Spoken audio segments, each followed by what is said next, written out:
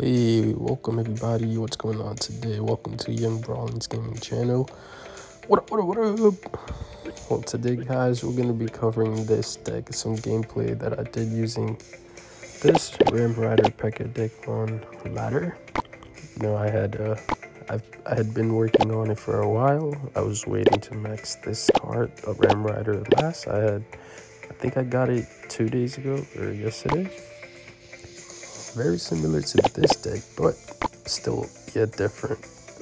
Um, 61 16 is the new season highest, which I used that deck to do yesterday. So we're gonna check out some replays right here.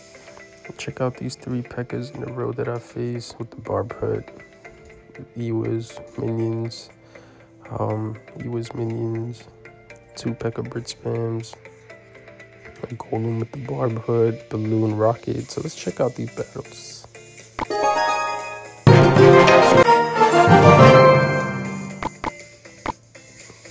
Just make sure the sound's off.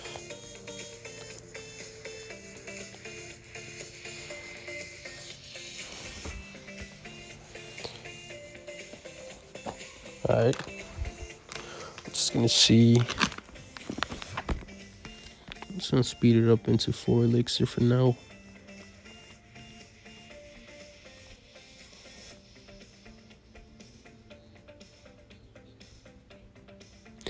So, all right, so I started off with the Barbaro. Comes the Dark Prince. I go Ewiz. Yeah, good lightning, but I must respond with the Ram Rider.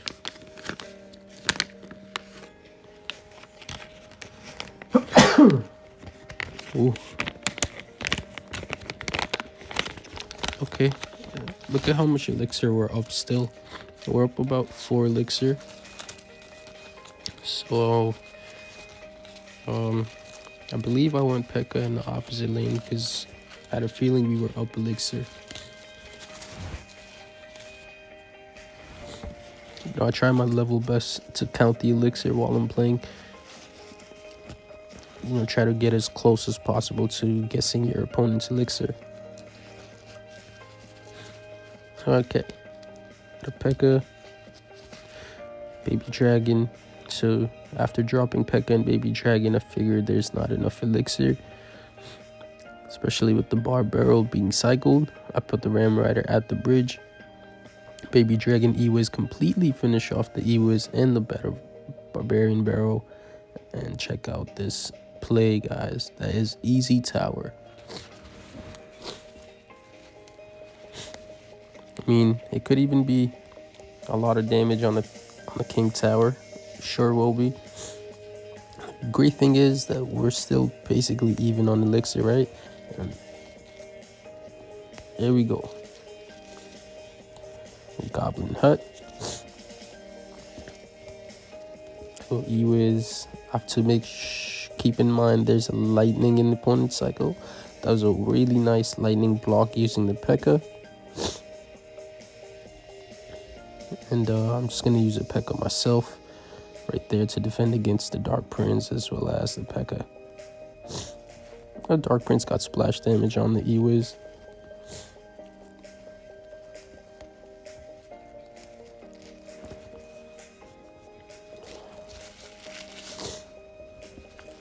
Dragon. I just do an E-Wiz blade. Don't want those spare goblins hitting the tower. And five seconds left to go, guys. It should be minor on the King Tower. Pro plays. Let's take a look at the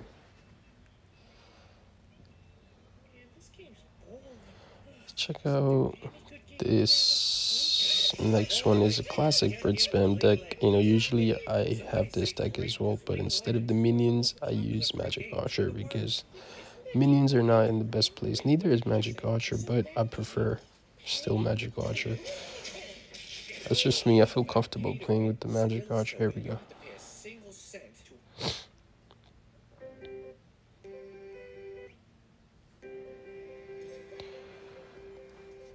Let's go into Okay, Battle Ram. starts off the play from the opponent. I'm just gonna do E-Wiz and Baby Dragon for the minions. It's kind of out of uh, poison range. Go with the Battle Ram. Try to make a counter push with the Baby Dragon, Barbarian Barrel, and check out how much damage this play got so early in the game. It's only even 30 seconds into the game. And we've caught that tower down to 561. Cool. And I go with the bandit play for the ghost. And uh, if this is left unattended, that's a tower. Well, tower, man, tower uh, connection. Here the opponent starts off with the battle ram. Uh, that was a bad snowball on my part. I think I could have just done E-Wiz rather than snowball. Try to defend that properly. You know, Ram Rider, maybe I needed to do Baby Dragon there because we went face on into the P.E.K.K.A with the Ram Rider. That's not a good play. Here, as you can tell, I'm down a bit of elixir, so um, I've got to do P.E.K.K.A right there. But at the same time, check this out, guys. You see the opponent did that bandit at 5 elixir and I have 2 elixir. So if that bandit was done at 3 elixir for the opponent, right? That bandit would have gotten a lot of damage since the opponent decided to wait. I was able to get back my elixir and the bandit was able to stop uh, the dash of the bandit from hitting our tower. So sometimes you just have to know exactly when to go at the bridge with the bandit because it can make a difference. That tower would have had like as much as HP that it has on the left side. You see, I was kind of, I almost threw this game away. How did we go from taking that tower down so nicely to losing our tower so easily? Here, we're into we're to focus on the right lane. Go with the P.E.K.K.A. Ram Rider. Cool. Baby Dragon. You see that the poison drops there. So I go with the bandit in the corner. Cycle a barbarian barrel. E-Wiz right there too to avoid the poison value. Snowball to get the bandit at the tower. And this is a good play because with the help of the E-Wiz, we're able to take down the P.E.K.K.A pretty nicely. Half health. Half health is gone off that P.E.K.K.A. Um, you know, using Baby Dragon just to stop this play. Don't want to give the poison value, so you can just wait it out. Go with the Bandit. Here we go with the Ram Rider.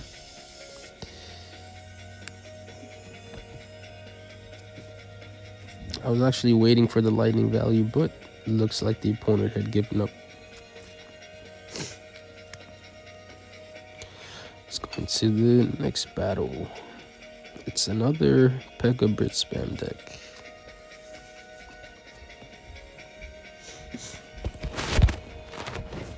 Speed it up until we go into the action.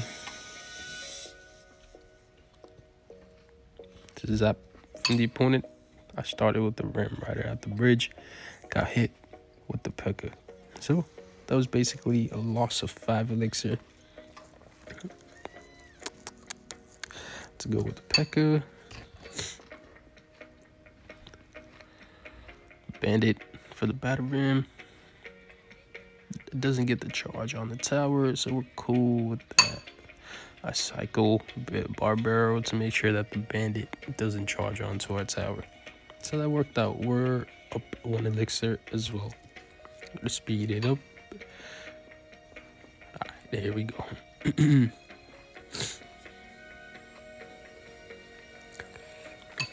Definitely leaked a little bit of elixir. Because the cycle was bad. Okay, so the poison drops. So go with the Ram Rider and back to a P.E.K.K.A. Cool.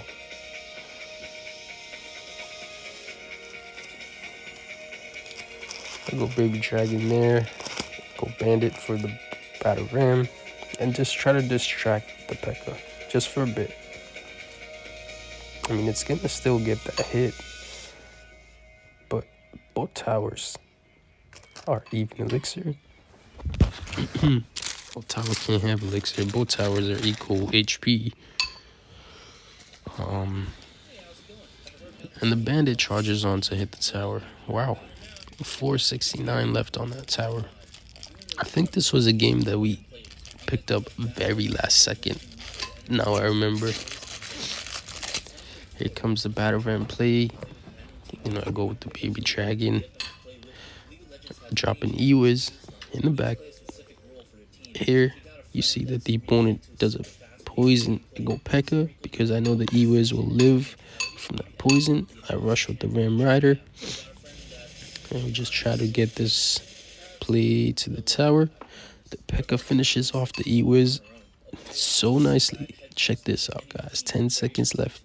And we finish off that tower with 157 HP left on our right tower. Poison drops from the opponent. Is it enough?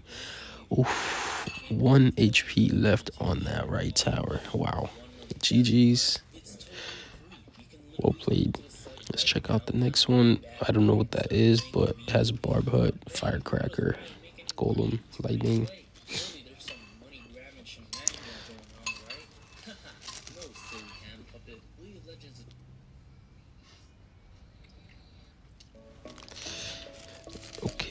Golem starts off the game in the back.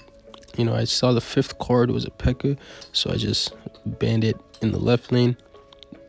And uh, P.E.K.K.A in the back in the right lane.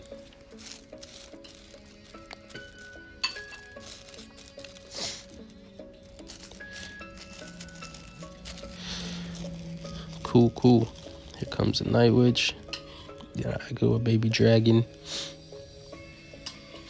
Still trying to stop this Golem. A Firecracker. Just do a Barbarian Barrel to get rid of that. I dropped the E-Wiz as well. Um, because of the bats being there.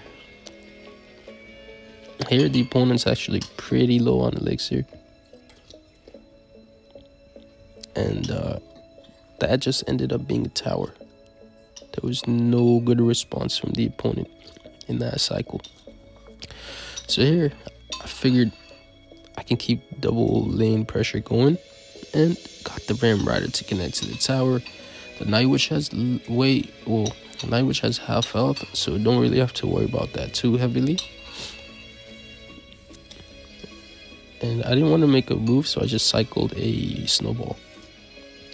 Here you see that I wait for the barb hut, and I got the baby dragon to lock on to the barb hut. I'm cool with that, because I don't really want to deal with the goblins. You know, as long as I can get that building out, there's way less pressure.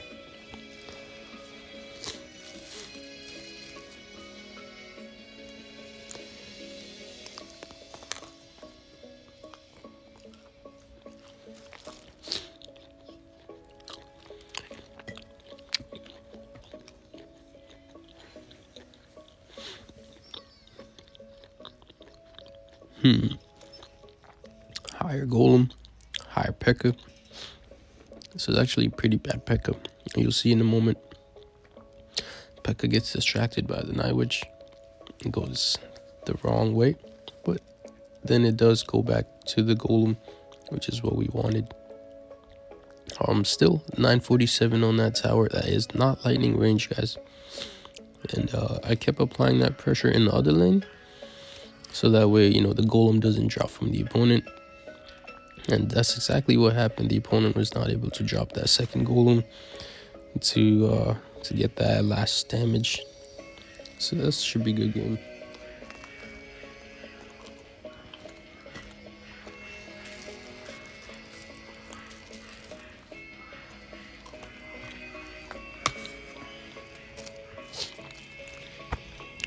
check out the last battle, how that one worked out. A little bit of off meta, got the balloon rocket, minion horde, rage.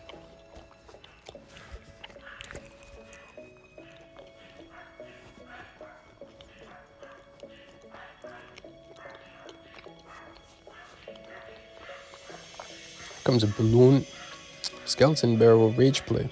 I'm easily able to defend that with the EOS bar barrel and the opponent has to respond to this with a counter push. That is a lot of stuff. I see I figured the EOS has plenty of health. The baby dragon is out of the cycle. Maybe we can get the Ram Rider through to the tower. And that's exactly what happened. I snowballed. Check this play out, guys. The Valkyrie cannot get to the Ram Rider. Ram Rider is doing tons of damage to the tower. Wow. Bringing it down to 459.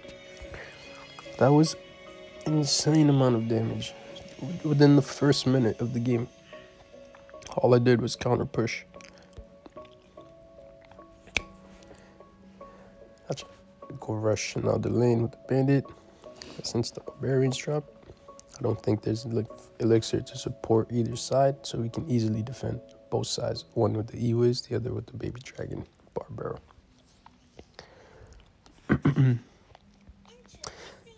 Here you see the EOS gets to the tower and finishes off with two hits.